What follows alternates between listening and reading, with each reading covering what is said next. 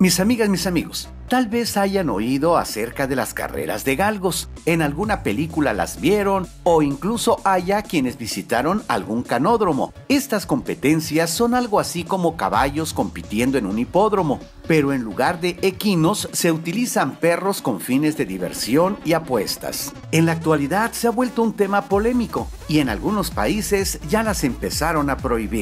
Para que conozcas más, Top 6 presenta Carreras de galgos ya las empezaron a prohibir. 6. Utilizan a una raza canina española. Antes que nada, cabe señalar que el galgo es una raza canina autóctona de España. Se trata de una raza pura, es decir, que sus características se han logrado por selección a través de los siglos y no por cruce de otras razas. Los galgos son grandes perros corredores que pueden alcanzar 60 kilómetros por hora. Ahora bien, en las carreras de galgos compiten perros de esta raza. Los animales recorren un circuito ovalado que forma parte del canódromo, persiguiendo una liebre artificial. La liebre, que corre por un carril electrificado, va siempre por delante de ellos y nunca pueden darle alcance. El primero en llegar a la meta es el ganador. 5. Historia de las carreras de galgos. El primer intento registrado de una carrera de galgos sobre una pista se hizo en Hendon, Gales, en el año de 1876, pero este experimento no pasó a más. Esta actividad surgió en su forma moderna con pistas circulares u ovaladas, una liebre artificial como presa y apuestas en los Estados Unidos durante los años 1920. Más tarde fue introducido en Gran Bretaña por Charles Moon junto al mayor Line Dixon y el brigadier Critchley. Estos fundaron la Asociación de Carreras de Galgos y llevaron a cabo el primer encuentro británico en Manchester. Tuvo éxito en ciudades y pueblos de todo el Reino Unido y hacia fines de 1927 había ya 40 pistas. Fue especialmente atractivo para espectadores de clase obrera masculina, para quienes las ubicaciones urbanas de las pistas y los encuentros por la tarde eran accesibles. Las apuestas han sido por siempre un ingrediente clave de las carreras de galgos. 4.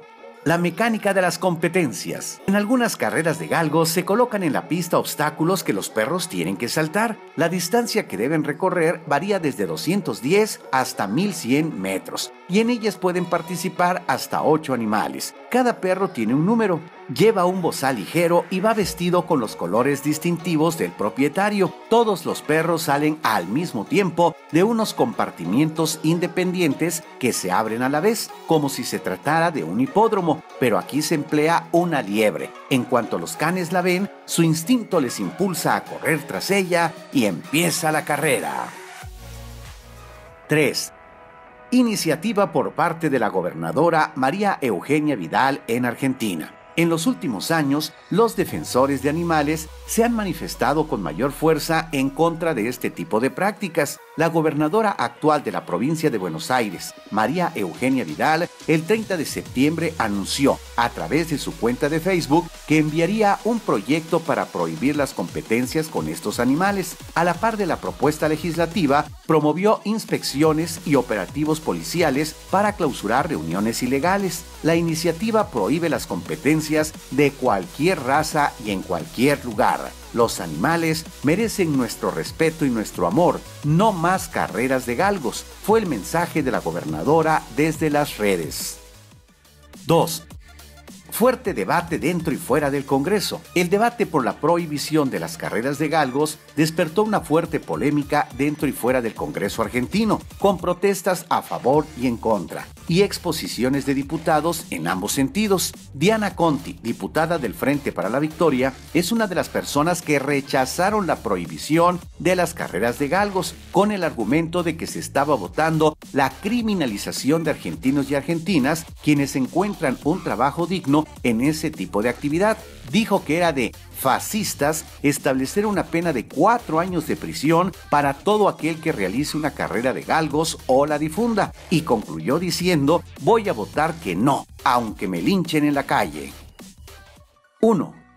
La prohibición de las carreras de galgos fue aprobada Finalmente, la Cámara de Diputados convirtió en ley la prohibición de las carreras de galgos por 132 votos a favor, 17 en contra y 23 abstenciones. En el artículo primero del proyecto se prohíben en todo el territorio nacional la realización de carreras de perros, cualquiera sea su raza. La ley reprime con prisión de 3 a 4 años a quienes organicen, promuevan, faciliten o realicen carreras de perros, a lo que se le añadirá el pago de multas que van de 4 mil a 80 mil pesos. Cuéntanos qué piensas sobre las carreras de galgos. ¿Tú estás a favor o en contra? Esperamos tus comentarios.